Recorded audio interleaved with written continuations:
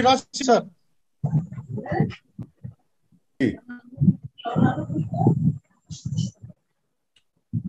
आज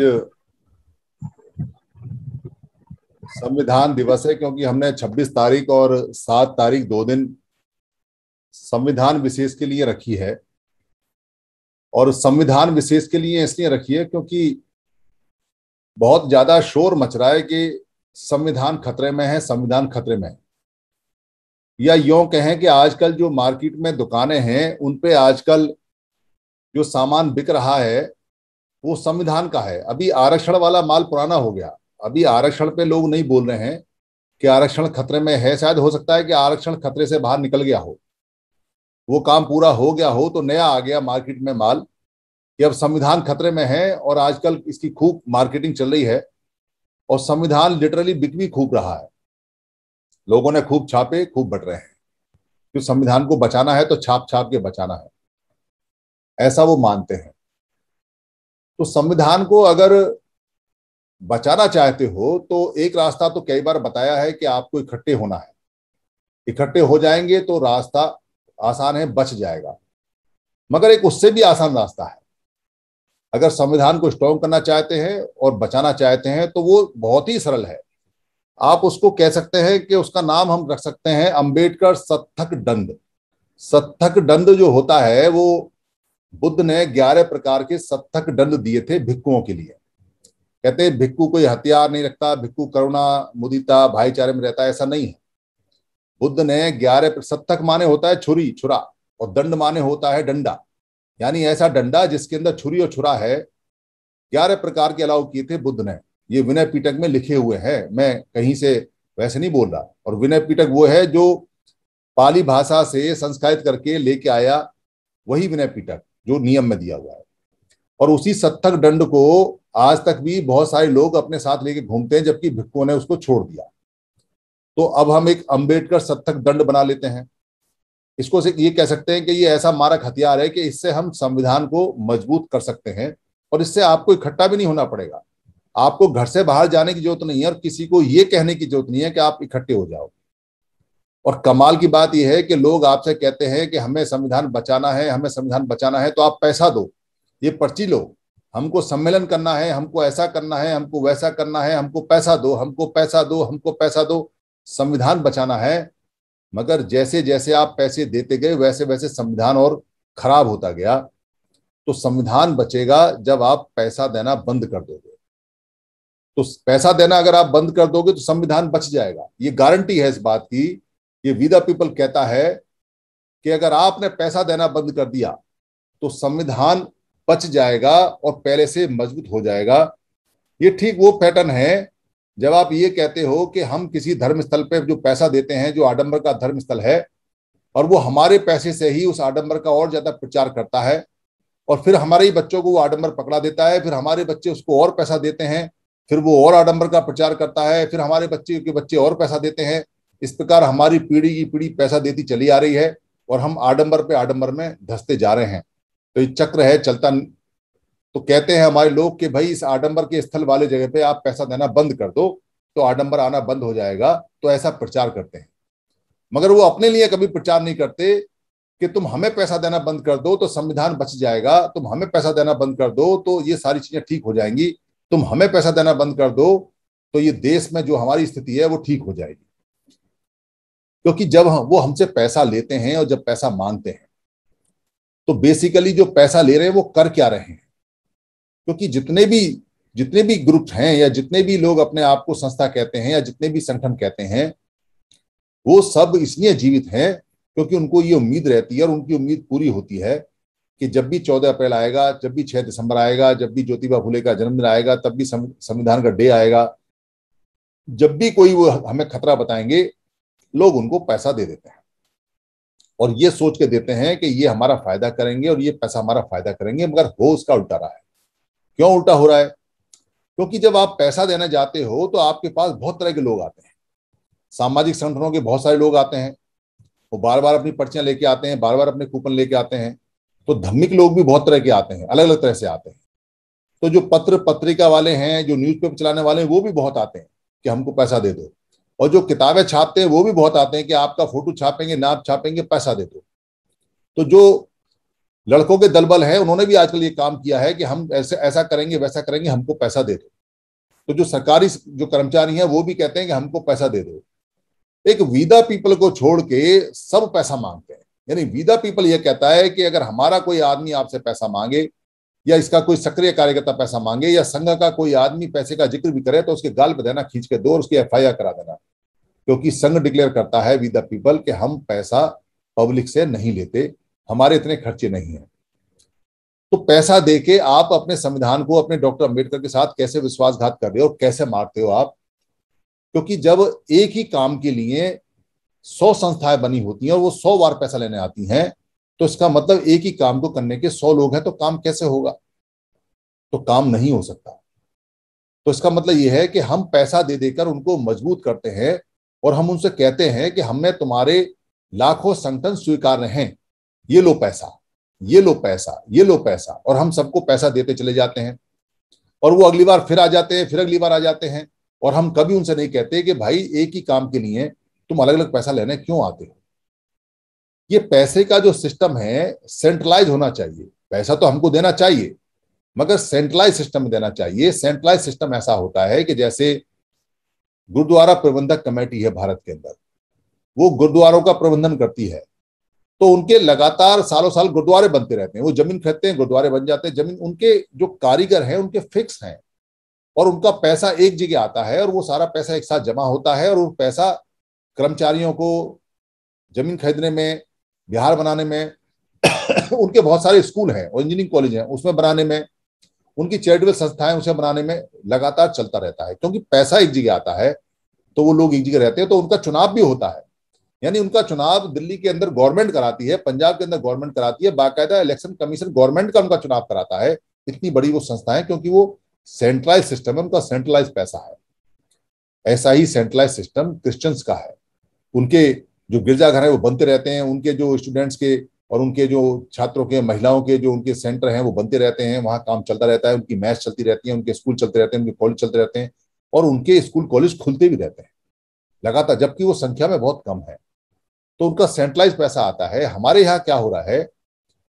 हम ये कहते हैं, हम बड़े सीधे और सच्चे और बड़े, बहुत बढ़िया आदमी, हम किसी की बुराई लेना पसंद नहीं करते। तो हमारे पास जो आता है, कहता है, कोई बात नहीं, तू भी ले जा। कोई बात नहीं, तू भी ले जा। हमें किसी का बुरा नहीं बनना। जितने लोग आए, सब ले जाओ भाई पैसे। देखो, काम सही करते रहना। ये ठीक ऐसी स्थिति है जैसे आप अपने घर के पाँच जो लोग हैं, पाँचों को चुनाव में भेज दिया आपने। एक ही ज़िले से खड़े हैं और पाँचों को कह रहे हैं कि तू भी पैसा ले जा, तू भी पैसा ले जा, तू भी पैसा ले जा। और उनको ये भी कहते हैं कि सोमवार को तेरे साथ खड़ा हूँगा मंगल को तेरे यहाँ आऊँगा, बुधवार को तेरे यहाँ आऊँगा, वीरवार को तेरे यहाँ आऊँगा, तू चिंता मत करो, लड़ो आपस में। और मैं तुम्हारे साथ ही ले जाओ पैसे। हम अपने ही भाइयों को पैसे देकर जंग के मैदान में उतारते हैं और फिर रोते हैं। हमारा कुछ नहीं होता, हमारी कोई सत्ता नहीं, हमारा कोई पार्टी नहीं, हमारे धम के लोग बड़े निकम्मे हैं, हमारे सरकारी कर्मचारी कुछ नहीं करते, हमारे सारे प्राइवेट चीज़ें चली गई हैं, हमारे जो बाबा साहब के संगठन है वो हज़ारों हैं, वो सब चल रहे हैं, ये निकम्मे लोग हैं, ये काम नहीं करते, ये सारे इकट्ठे हो जाते तो हम बच जाते, ये सारे इकट्ठे हो जाते तो हमारा नुकसान नहीं होता, फिर हम रोते हैं। हम कितने सारे जो बुद्धिजीवी लोग हैं, जो पत्र पत्रिकाएँ चलाते हैं, हज़ारों पत्र पत्रिकाएँ चलती हैं और कहाँ चलती हैं? कोई 200 छपती है, कोई 500 छपती है, अखबार 200 छपते हैं 500 छपते हैं और वो वहीं तक रह जाते हैं, किसी के पास जाते भी नहीं वो। और वो पैसे लेने आ जाते हैं कि इसकी मेंबरशिप ले लो, इसका चंदा ले लो, इसका ये ले लो। और अगर आप पैसे ना दोगे तो वो क्या कहते हैं, देखो ये आपका फ़ोटो छापेंगे हम इसमें। आप हमें पाँच सौ रुपए दे दो। शुभकामना का, मंगल कामनाओं का आपको फ़ोटो, ये चलन चलता है और फ़ोटो छपवाने के लालच में सौ, दो सौ, पाँच सौ दे के तो उनको लगता है कि हमारी किताब तो चल रही है, जबकि उस किताब की कोई वैल्यू नहीं है, क्योंकि वो सौ दो सौ लोगों में और उसमें कोई होता नहीं। तो ये जो किताब वाले भी जो बुद्धिजीवी हैं, जो लेखक अपने आप कहते हैं, जो अपने आप को पत्रकार कहते हैं, ये बुद्धिजीवी बुद्धिहीन लोग हैं, इनको इतनी भी अकल नहीं है कह रहे अगर सारे इकट्ठे हो जाते तुम बुद्धिजीवी तो तुम्हें देख के बाकी लोग इकट्ठे हो जाते। तुम तो बुद्धिजीवी थे, तुम्हारे अंदर तो अहम और ईगो नहीं होना चाहिए था। तुम्हें तो इस बात की समझ होनी चाहिए थी कि अगर 500 लोग जो लेखक है या 500 लोग जो पत्रकार है, अगर वो एक साथ फेडरेशन बना लेते तो एक पत्रिका अगर निकलती और वो बहुत अच्छी क्वालिटी की निकलती उसमें बहुत अच्छा कंटेंट होता तो पूरी दुनिया में लाखों जाती तो तुम लाखों कमाते और अरबों का बिज़नेस करते। और वहाँ उस पब्लिकेशन हाउस की इज़्ज़त होती है और वो टक्कर देता पूरी दुनिया को, मगर एक छोटा सा कहीं से कोई कोर्स करके आता है और ना भी करके आया और वो अपना अखबार चला के बस पूरे दिन ये ढूंढता रहता है कि किसके पास जाऊँ फ़ोन करके किसके पास नहीं। यही हालत हमारे जो आजकल लड़के जो यूट्यूब चलाते हैं, उनकी है। वो खबर उसकी चलाते हैं जो उनको पाँच सौ हज़ार रुपए देता है। आप उनकी खबरें देखोगे तो आपको ध्यान आएगा कि एक ही आदमी की खबरें एक चैनल वाला निकालता है और उसको प्रोजेक्ट करता है। तो जो मीडिया हमारा है और जो मेन मीडिया है, उसमें कोई अंतर नहीं है। उसको भी अभी मिशन की पहचान नहीं है, क्योंकि अगर सौ लोगों को वो बढ़ाएगा और झूठों को बढ़ाएगा और सच्चों को बढ़ाएगा, सबको बढ़ाएगा तो फिर तो ये जो संगठन वाली समस्या है, ये कभी खत्म नहीं होगी। तो हम क्या कर रहे हैं कि हम पैसा दे रहे हैं अपने आप को बचाने के लिए अपने मिशन को आगे बढ़ाने के लिए, अपनी एकता के लिए, अपने दुखों को दूर दूर करने के लिए, और जैसे जैसे हम उनको पैसा देते जा रहे हैं वैसे वैसे वो संगठन हज़ारों की संख्या लाखों हो गए, और लाखों से कई लाख हो गए, और तीस लाख पहुँच गए, और वो आगे भी बढ़ेंगे क्योंकि उनको पैसे मिलते जाते हैं तो वो अपनी दुकान क्यों बंद करेंगे? वो बेवकूफ़ है क्या? जब माल बिक रहा है और हम जा रहे हैं ग्राहक बन के और हम कह रहे लाओ पर्ची दे दो और पैसा हम तुम्हें देंगे तो उनकी दुकानें बंद नहीं होंगी। वो क्यों बंद करेंगे? वो जो हज़ारों अखबार चल रहे लाखों अखबार चल रहे वो क्यों बंद होंगे? जो पत्रिकाएँ चल रही है लाखों हज़ारों, वो क्यों बंद होंगी? जो सामाजिक संगठन चल रहे हैं हज़ारों लाखों, वो क्यों बंद होंगी? दुकान जब बंद होती है, जब ग्राहक जाना बंद हो जाए तो ग्राहक तो हम तो बेसिकली हमको ये समझना है कि अगर हमको जीवित रहना है और इनको भी जीवित रखना है, क्योंकि ये जो छोटे छोटे लोग हैं, ये पनप नहीं सकते। अगर ये मीडिया हाउस बड़ा हो जाता, अगर ये नेता सारे इकट्ठे हो जाएँ, अगर ये सामाजिक संगठन सारे इकट्ठे हो जाएँ तो हम जीतेंगे तो ये भी बचेंगे। तो हमको थोड़े दिन के लिए इनको पैसा देना बंद कर देना चाहिए। इन पर करुणा ममता करनी बंद कर देनी चाहिए और इनको कहना चाहिए कि भाई, पैसा तुम्हारा रखा हुआ है। बाबा साहब ने कहा बीसवा हिस्सा देना है, हम बीस की जगह आपको पंद्रहवा हिस्सा देंगे, पैसा तुम्हारा रखा हुआ है, देखो ये रखा हुआ है। मगर पहले इकट्ठे हो जाओ, पहले सेंट्रलाइज सिस्टम में आओ, एक सिस्टम बनाओ, हम एक जगह ही पैसा देंगे, वहाँ से एक सिस्टम चलेगा, वही सिस्टम किताब छापेगा, वही सिस्टम सारा सारा पब्लिकेशन करेगा, वही सिस्टम बुद्ध विहार बनाएगा वही अंबेडकर भवन बनाएगा, वही कबीर भवन बनाएगा, वही गुरु रविदास भवन बनाएगा, वही सारे संतों के भवन बनाएगा, वही कार्यक्रम लगाएगा और एक ही कार्यक्रम लगेगा, अगर चौदह अप्रैल का होगा, चौदह अप्रैल पे पाँच हज़ार कार्यक्रम नहीं लगेंगे एक शहर में। और जो ये अधिवेशन होते हैं अलग अलग अलग सामाजिक संगठनों के, ये सौ अधिवेशन नहीं कराने हमने।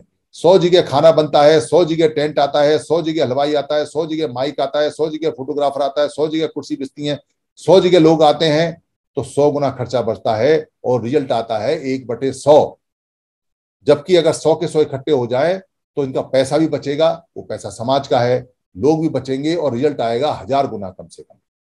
तो हमको रिज़ल्ट चाहिए तो हमको सोचना है, वो नहीं सोचेंगे। तो क्या सोचना है? बड़ा सरल काम है। अब तो और भी सरल काम हो गया।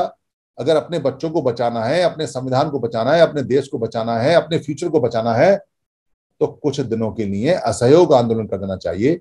इनको पैसा नहीं देना चाहिए, इनको दिखाते रहना चाहिए कि तुम्हारा पैसा है हमारे पास, बस इकट्ठे होकर आ जाओ। इनमें जो निकम्मे लोग हैं, क्योंकि ये काम वाम तो करते नहीं, सब इसी के ऊपर है। हमारे तो नेता काम नहीं करते, उनका तो एक ही काम है कि हम नेतागिरी करते हैं, यही हमारा काम है, यही हमारा रोज़गार है। आप चंदा दो, हमारा घर चलेगा। आप चंदा दो, हमारी कार में पेट्रोल चलेगा। आप चंदा दो, हमारे झंडे आएँगे। आप चंदा दो, हमारा जहाज़ का टिकट आएगा। तो जो उसमें निकम्मे लोग होंगे, जो बेकार के लोग होंगे, जो दलाल टाइप के होंगे वो मर जाएँगे या भाग जाएँगे या कुछ काम करेंगे। जो सच्चे हैं वो बचेंगे तो वो इकट्ठे हो जाएँगे। और अगर इकट्ठे नहीं हो जाएँगे तो फिर आपने उनको पैसा नहीं देना है कि भाई इकट्ठे होके आओ। सारी राजनीतिक पार्टियाँ अलग अलग नहीं चलेंगी। पहले इकट्ठे होके आओ। सारे धम के लोग, सारे कबीरपंथी सारे रविदास के सभी जितने भी संतों के लोग हैं, भाई इकट्ठे होके आओ। जितने भी लड़के हैं दल बल के, भाई सब इकट्ठे होके आओ। जितने भी किताब, मैगजीन छापने वाले हैं, कह रहे भाई सब इकट्ठे होके आओ, जितने लेखक हो। किताबों के पैसे तब देंगे। तो अखबार भी चल जाएगा फिर आपका, अंग्रेज़ी का भी, उड़िया का भी तमिल का भी, तेलुगु का सारे अखबार चल जाएँगे, क्योंकि एक ही तो चलेगा। तो फिर इनको कहो कि भाई सारे के सारे जितने भी धम के लोग हैं, सब इकट्ठे होके आओ। तो उनको कहो कि भाई जितने भी ये जो हमारे मीडिया के पत्रकार लोग हैं, जो यूट्यूब चैनल चलाते हैं, भाई सब इकट्ठे होके आओ। तो जब तक हम उनकी ये जो इच्छा है, जो उनको बार बार पैसा मिलता रहता है, अगर ये हम रोकेंगे नहीं और उनको देते रहेंगे, ये सोच के कि हमने तो बाबा साहब का नमक खाया है और बाबा साहब का पे बैक टू सोसाइटी करना है और बाबा साहब का ऋण चुकाना है, हमें तो जो पैसा है तो देना है। तो पे बैक टू सोसाइटी भी पाँच छह लोग हैं, यानी पाँच छह संस्था तो मैंने देखी हुई है जो पे बैक टू सोसाइटी के नाम पर काम कर रही है। अरे भाई, तुम में इतनी अकल नहीं है, तुम पे बैक टू सोसाइटी में भी पाँच छह चला रखी है तुमने। अरे पे बैक टू सोसाइटी में तो एक चला लो कम से कम। और धमके, जब बुद्ध एक है तो धमका एक चला लो, जब बाबा साहब एक है तो सामाजिक एक चला लो। तो ये तो चलाए ना। इकट्ठे होने में हो सकता है टाइम लगे, मगर ये जो डॉक्टर अंबेडकर का जो सत्तक दंड है कि आप पैसा मत दो, ये इतना कारगर है कि आपको कहीं जाना नहीं है, कहीं आना नहीं है। जो यहाँ एक सौ उनतालीस लोग सुन रहे हैं, वो सिर्फ़ अपने अपने रिश्तेदारों को सबको फ़ोन करके कहते हैं कि भाई वी द पीपल ने अनाउंस कर दिया है। मैंने इसका एक वीडियो भी निकाल दिया है कि भाई, पैसे नहीं देने हैं और हम पैसे देने को मना नहीं कर रहे हैं। पैसे रखे हुए हैं और जितने बाबा साहब ने कहे, उससे ज़्यादा देंगे। उन्होंने पाँच परसेंट के लिए कहा है, हम दस परसेंट देंगे। और ये रखे पैसे तुम्हारे अकाउंट में। मगर देंगे तब जब सेंट्रलाइज सिस्टम होगा और एक साथ आओगे, अब अलग अलग पैसे नहीं देंगे। छह महीने मत दो बस पैसे इनको। छह महीने में ये चारों खाने चित्त हो जाएँगे, छह महीने में ये एक हो जाएँगे। अगर छह महीने पैसे नहीं दिए तो छह महीने में इनको पता चल जाएगा कि अब हमें लोग पैसे नहीं देते और ये कमाते नहीं है। और कोई बाहर वाला भी कोई देगा तो कितना पैसा दे देगा और कितने लोगों को दे देगा। मान लो अगर हमारा कोई दुश्मन है और इनको फंडिंग भी करना चाहेगा तो कितनों को देगा? तो इनमें आपस में जूतम पैजार हो जाएगी, इनमें आपस में ही गुत्थम गुत्ता हो जाएगी, आपस में ही लड़ेंगे। तो ये फिर हम इनसे भी पूछ लेंगे, जब हम तुम्हें पैसा नहीं देता तो ये पैसा कहाँ से आता तुम्हारे पास में? कि तुम्हारी गाड़ी में पेट्रोल कहाँ से भर रहा है जब हम पैसा नहीं देते? ये फार्मूला फेल नहीं होने वाला है। इस फार्मूले को बहुत तेज़ी से, जितनी तेज़ी से आगे बढ़ा सकें, इससे कई फ़ायदे होंगे। देखो, एक तो ये फ़ायदा होगा कि आपका पैसा बचेगा। दूसरा फ़ायदा ये होगा कि आपका देश, आपका संविधान, आपके बाबा साहब, आपके अंबेडकर, आपके बुद्ध, आपके सबकी आइडियोलॉजी बच जाएगी। और उससे ये भी फ़ायदा होगा कि हमारे लोग सीधे सच्चे हो जाएँगे, फिर उनको चंदे खाने की आदत से छुटकारा मिल जाएगा तो वो सीधे सच्चे हो जाएँगे, उनकी बुराइयाँ भी निकल जाएँगी।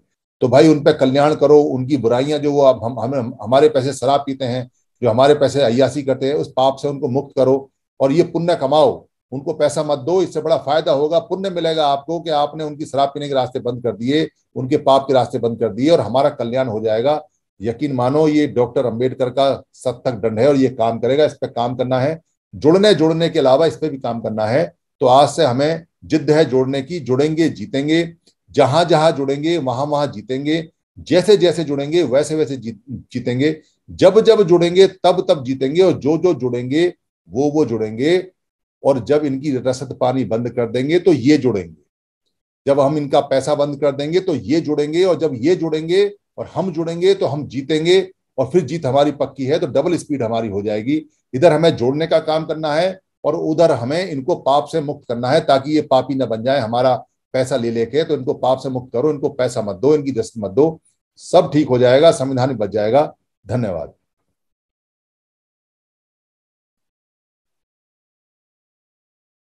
Thank you very much Sudhir sir